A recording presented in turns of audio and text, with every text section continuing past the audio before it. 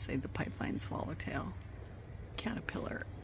And what's interesting about these guys is they like to feed together, congregate together. I'm gonna come down here. That's what they like to do.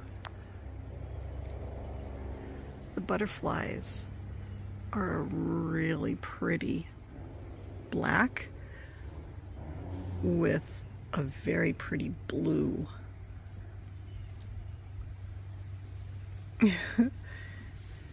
but that's how these caterpillars